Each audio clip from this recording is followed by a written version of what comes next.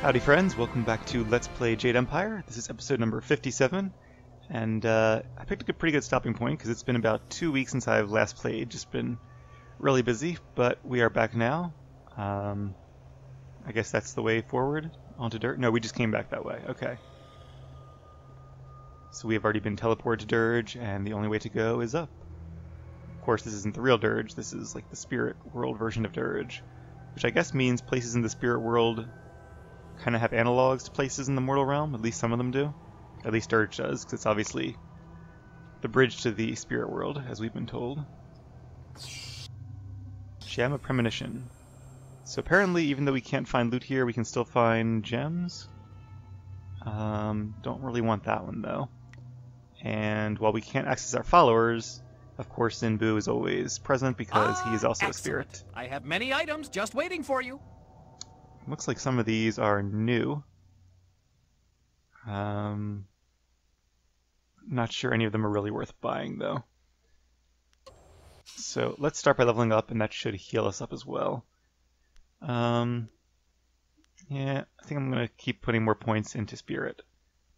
Maybe if we have like double the points in spirit as we do in mind, I'll put more points into mind. But for now, focus doesn't seem to be much of an issue. 24 style points. Awesome. Um, let's see. Leaping Tiger and Crimson Tears are maxed out. Stone Immortal. I could have longer stuns. Spirit Thief. I could have more speed. Um, what about Storm Dragon? Duration or speed. So I could do 10, 6, 6. That's an option. Yeah, let's go ahead and do that. And then I'll put 6 points into Storm Dragon. Um, and we will save the other two. Alright, so uh, we are now on chapter 5. However, really kind of. Whoops. Demons, great. We are actually getting um, fairly far on in the game. The last three chapters I remember being fairly short. So, in a way, you could actually say we're kind of in the end game now. And I believe horse demons are immune to magic. However, I am not. Yes. Alright. Worth checking. What about Spirit Thief?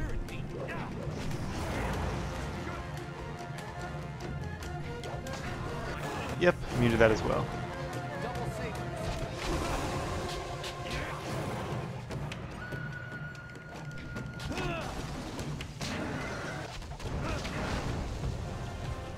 I really hate horse demons. I'm sure they feel the same way about me. Alright, let's heal up a bit. Use up some of that chi.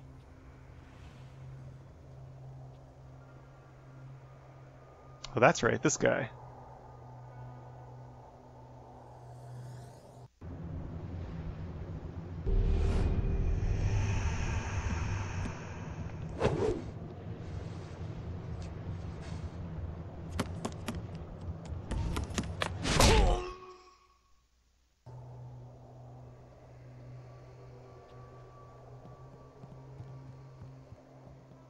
This.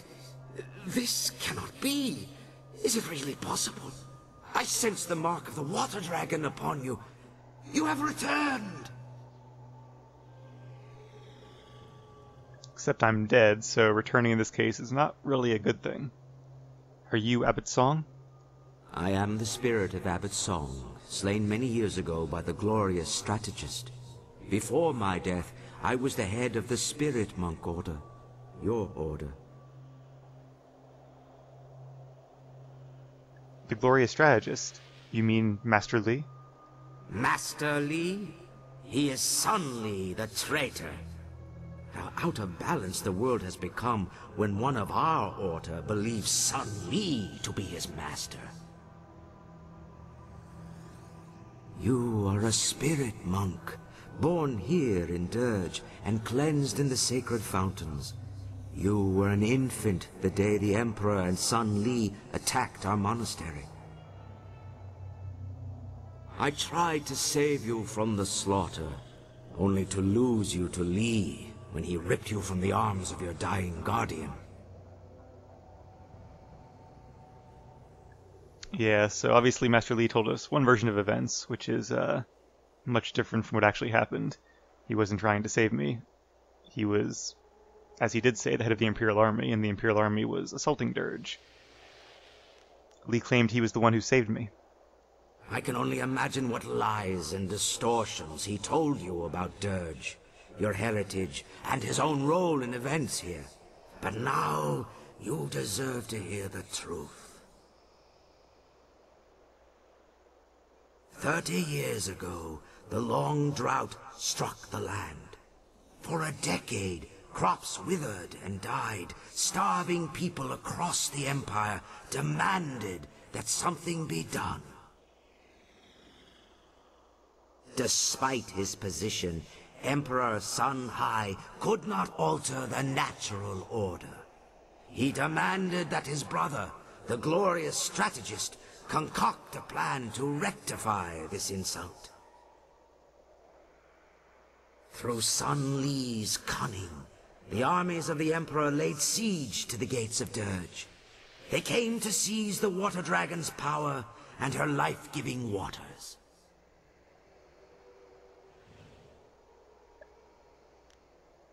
How did he defeat the Water Dragon?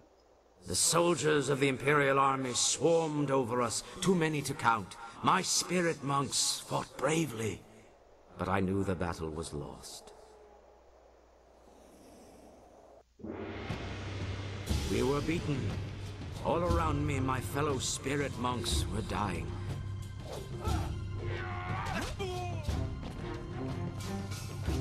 I tried to hold the attackers at bay. Prince Qin attacked me, and then Master Li cut me down from behind. The Emperor ascended unopposed, but already Sun Li and Prince Qin plotted against him. The glorious strategist was not content to watch his brother come to power.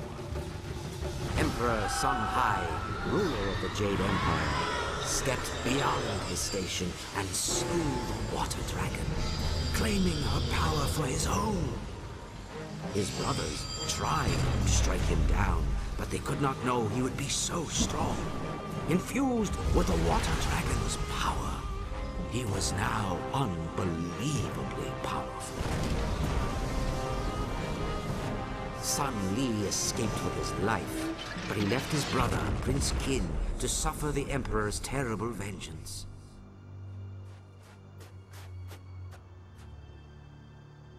A spirit monk child still lived.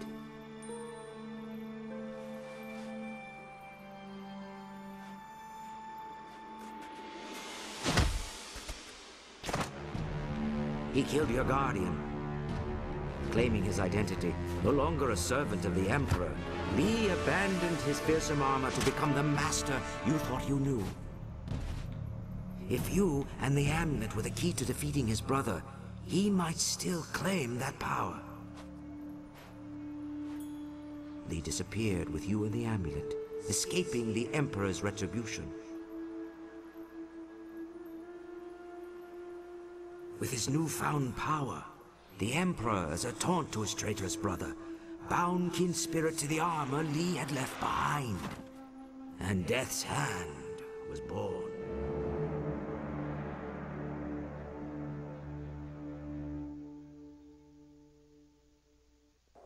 You were the last of the spirit monks.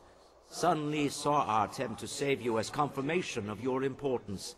He believed you were meant to restore what he helped steal. He trained you to be an instrument of vengeance, an agent to succeed where he and Prince Kin had failed. But with your death, the Emperor is now invincible. I defeated the Emperor, then Li betrayed me. Then the glorious strategist has won. You were the last of the spirit monks. But now you are just a ghost like the rest of us. No one is left to oppose Sun Li. The water dragon said you would help me. You spoke with the water dragon? Of course. Only she could guide your spirit to Dirge, while all others must wander the mortal world. I worried that our last hope had died with you, but now I see you have come to restore the fountains of Dirge. The first step in restoring the water dragon herself. As leader of the spirit monks in life, I am bound by honor and duty to aid you in this task.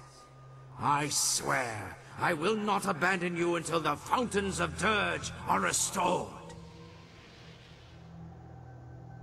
So that's something I didn't really notice before. When he says that the water dragon called me to Dirge, that's the same thing she's supposed to do for all of the lost spirits. But uh, as we know, because she doesn't have her power anymore, the Emperor did, and now Sun Li. Um, that's why all the ghosts are wandering aimlessly. But during that brief moment, while power was being transferred, she was able to send me here, which is kind of cool that that's that's her job. So she was able to actually do it for at least one person, and uh, now it's up to me to make sure she can do it for everyone else. I am honored to have you with me, Abbot Song. I can guide you here in Dirge, this lost home of yours. I know the monastery well, and will do everything in my power to help you restore the fountains. And how do I do that? The fountains were tainted with human blood, which shattered their seals. The blood that stained them is gone. Replacing the seals should restore them. I want to ask you some questions. I know the monastery well. If there are questions you wish to ask in your quest to restore the fountains, I will do my best to answer them.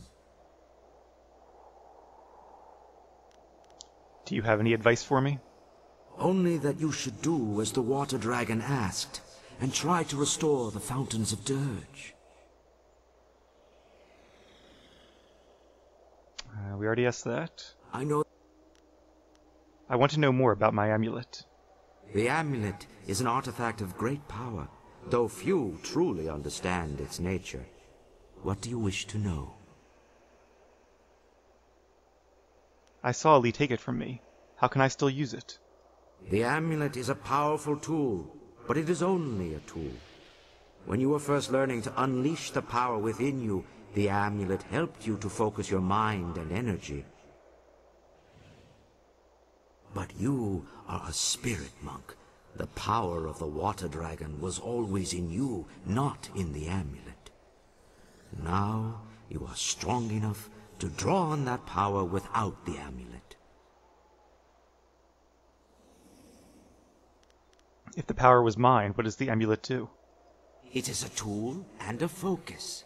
It allows you to understand the power you can wield, and to use the essence gems that so many discount as trinkets. We alone can draw on more than one gem at a time. You can do this, even without the physical amulet, now that you know your true nature. So Master Li has the amulet, but he's not a spirit monk. Does that mean he can only draw on one gem? I suppose it doesn't really matter, but I always assumed that once he had it, he could use it to draw on as many as it can hold. Uh, same with Grand Inquisitor Jia. She obviously was using one gem, and she only had a piece of the amulet, but I suppose one was all she could use as well. If the amulet is only a focus, why did Li take it from me? You no longer need the amulet, but Li has a use for it. Li's brother, Sun Hai, consumed the water dragon's power, but without the amulet, it was a long and slow process. Even after 20 years, he was not strong enough to defeat you. Had the Lotus Assassins brought him enough pieces of the amulet, he would have been far more powerful. That explains why they wanted it so badly. But Sun Li has the amulet, making him far more dangerous. With it, he can draw on the Water Dragon's power much faster. Unless you stop him soon, he will become invincible. So that doesn't explain why a piece of the amulet was in the Lotus Assassin Fortress and not with the Emperor. Um, maybe he could only use that piece if the main piece was also found, the piece I had. But uh, or perhaps the Lotus Assassins had just discovered it and had not yet presented it to him. I think that would probably be a little more believable. Um, that, I'm pretty sure. Why were the pieces of the amulet scattered across the Empire? I did not want the amulet to fall into the hands of our enemy. When I realized the battle was lost, I shattered it into several pieces.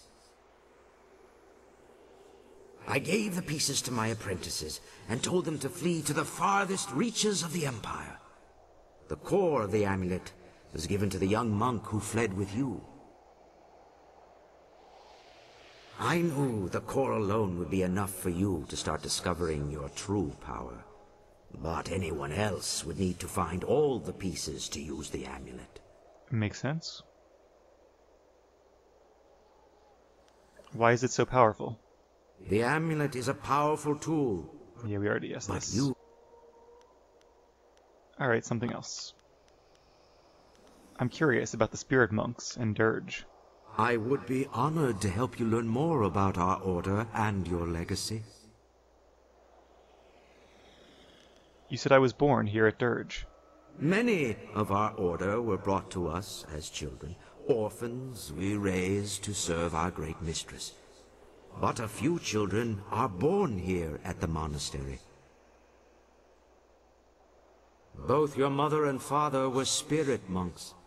You were born right here in Dirge, and bathed in the sacred fountains, mere days before we were destroyed. Both your mother and father died in the attack, along with the rest of us who served the Water Dragon. What were my parents like? It's kind of surprising you don't meet them here. Shouldn't they be ghosts as well? That's, I wonder if some of the spirit monks who died before the Water Dragon lost her power, were they able to travel beyond? Like Abbot Song wasn't, even though he died before the Emperor got to the throne room or the portal room or whatever it was. But uh, maybe his spirit just hadn't made it there yet. They were good people. Their love for each other was matched only by their devotion to the Water Dragon herself. Had they survived, you would have been raised here in Dirge. They would have instructed you from birth in the duties of a spirit monk. It is a tragedy you never knew them. Yeah, but I think uh, my character's current life is a little more exciting than it would have been otherwise. What did the spirit monks do exactly? We served the Water Dragon as her guardians and protectors. We saw to the needs of her physical form, maintained Dirge, and honored her with worship and prayer. Is that all? We also served as shepherds for the dead. Most spirits came to Dirge in time, but sometimes a spirit was unable or unwilling to leave the mortal world behind. We would seek out these lost spirits. Those with unfinished business or those who had suffered traumatic deaths would need our help to reach Dirge. But now that the Water Dragon is gone, none of the spirits can find their way to Dirge. And those already here are trapped. The portal to the afterlife is sealed.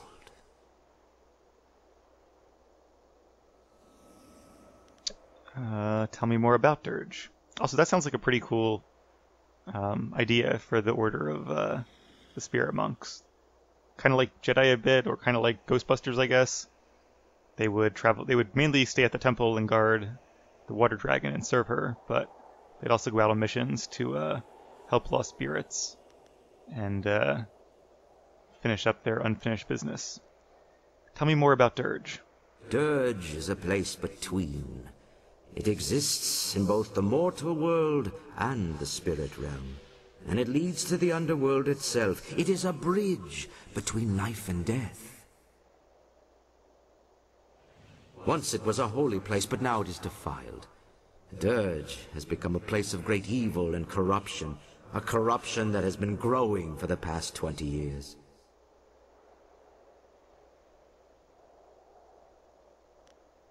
Um, I guess I already asked both of these.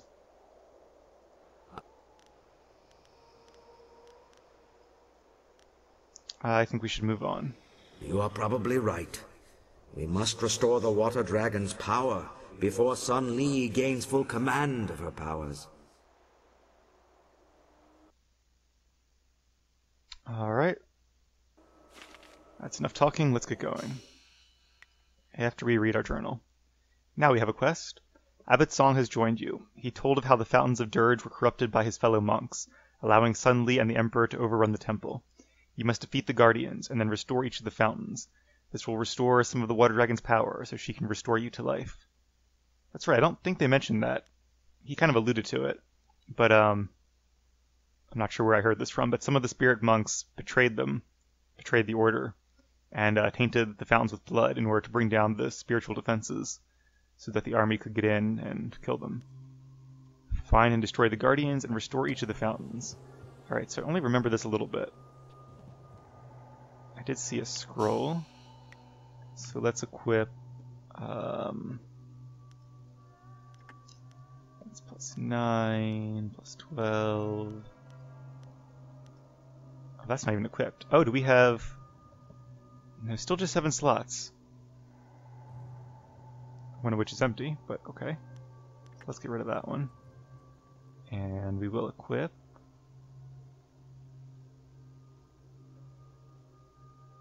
Where are you? This one. Wait, one, two, three, four, five, six. Oh, and that one. Alright, much better. I'm assuming that all of these things we kill count as spirits.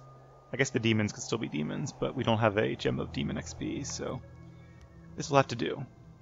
The Ritual of Binding. The ability to bind a spirit is one of the great honors that the Water Dragon has bestowed upon us. Therefore, we must always remember to treat this gift with the proper respect. When you bind a spirit, you become the guardian of that spirit. It is as though the spirit is your child. Though it is your duty to return the spirit to the Water Dragon for her judgment, until you give the spirit over to her, you are fully responsible for that spirit. Since the spirit will obey your every command, you must always have the best interests of the spirit in mind while it is under your control. You must never command a spirit to do anything that might affect the Water Dragon's judgment of that spirit later on. And though it is the most common rule when binding spirits, I will repeat it again. Under no circumstances will you ever bind the spirit of a living person. Such acts are punishable by death and judgment at the hands of the Water Dragon herself. So that's a useful skill for somebody in our profession to have. Um, and it might explain why I'm so good at fighting spirits. But uh, the forbidden part at the end is apparently what the Emperor did once he stole the Water Dragon's power. Um, actually, that kind of explains why they could use the amulet as well. If they have the power of the Water Dragon, and the Spirit Monks are special because we are bestowed gifts by the Water Dragon, that makes the Emperor and now Master Li kind of like the ultimate Spirit Monk. Um, so by having even a bit of that power, I would imagine they could use the amulet to its full abilities. And um, that's what the Emperor did when he bound Prince Qin's spirit to Master Li's armor, and so created Death's Hand, the spirit of a living person. Yay, XP. Here's one of the fountains. Let's see who's guarding it.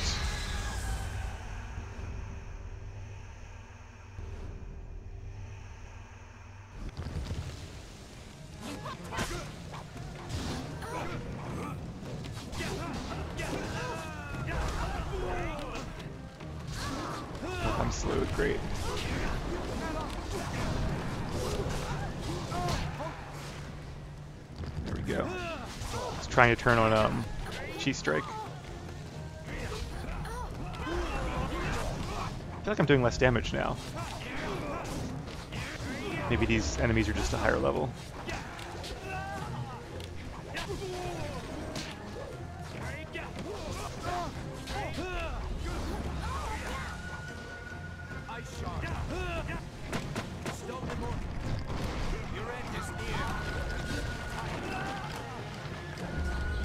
Petrified. Great. Come on. Yeah, I'm gonna turn off Chi Strike mode. Is that not my Chi button?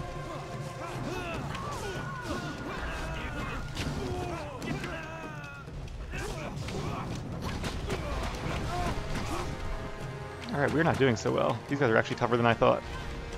They look just like humans, but they are uh, quite powerful. Okay, I'm need to block some.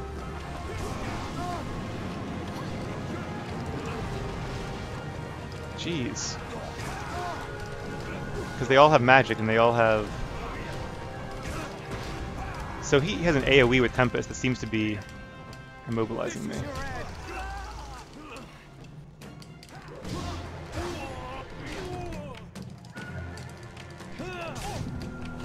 Stay away, stay away.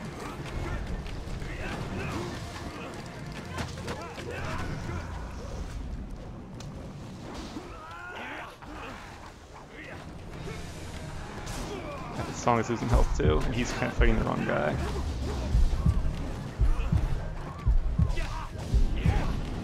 Watch out, watch out, dodge. Alright, we gotta start doing some damage here. See, I would like to switch to swords right now. But obviously swords don't affect ghosts. Alright, one down. Of course, so is Abbot's Song.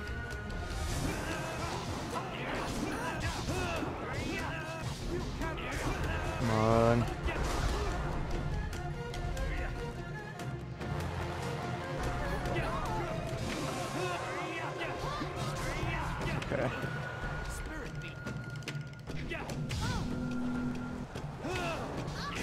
Do have a lot of focus actually, so I could use that, or I've used that.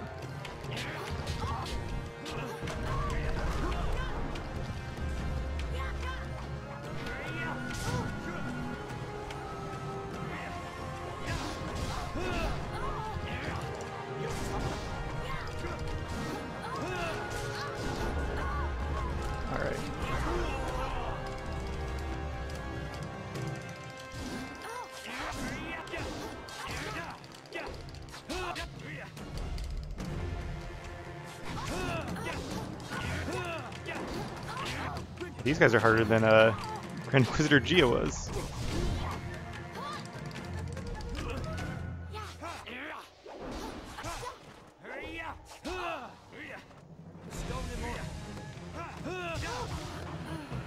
Alright.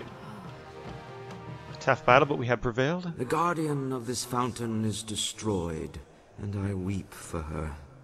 She was once one of our order, but lured by Li's promises of wealth and power, she betrayed us. Ah, so that's where I learned it. Should have just waited. This woman was once a spirit monk. This thing is the corrupted spirit of Xiang Wu.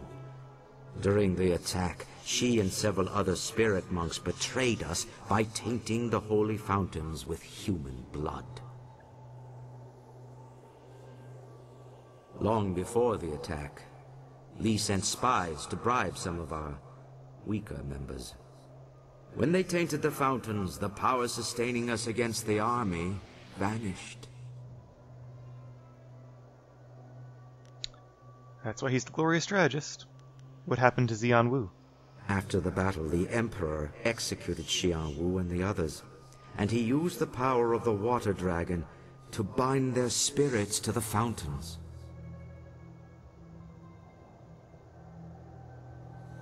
Don't understand. How did he bind their spirits? The binding is a sacred ritual of the spirit monks. We can draw on the power of the Water Dragon to bind a spirit to us.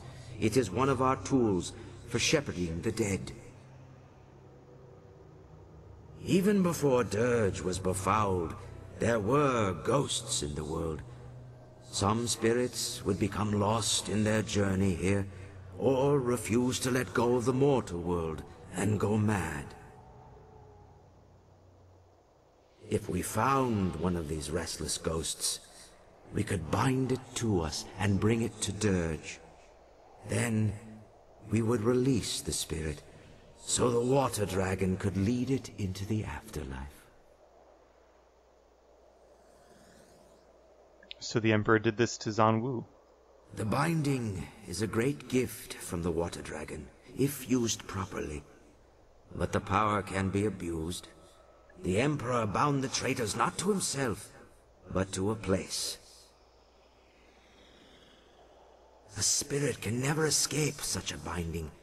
It feels an inexorable pull, but it has nowhere to go. It feels a compulsion to obey, but is never given a command. That sounds horrible. The spirit twists and corrupts, and in its agony it goes mad. Binding a spirit to a place is a terrible crime for our order. The only thing worse is binding a living creature. Is that how Sun Qin was bound to Li's armor? Does it have that kind of power? Binding the living condemns them to a fate worse than death. It forces the subject to obey and robs them of their free will. As a spirit monk, you must never do such a thing. The ability to bind spirits comes from the essence of the water dragon inside you. You may not have the power now, but one day you will be able to call upon it when needed. But this is not the time for lessons or instruction. The Guardian is dead, but you must place the seal on the fountain for it to be fully restored. Alright, Dirge Fountain Seal, and quite a bit of XP.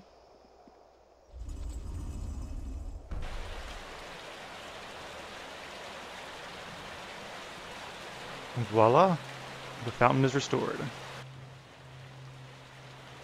I think there are three of them, two or three. It worked! The fountain is restored, and the gates to the inner courtyard have opened. Or is that the only one? There may be more inside the inner courtyard. Alright, well, I've yet to encounter a, uh, um, a spirit font. Hopefully there'll be some ahead, because we are a little low on health and chi. Well, mainly chi, but our health isn't in great shape either. Um, but we will have to do some more exploring next episode. I'm going to uh, take a break here, and when we come back, we will head to the inner courtyard and continue to restore Dirge. Thank you all for watching. See you in a bit.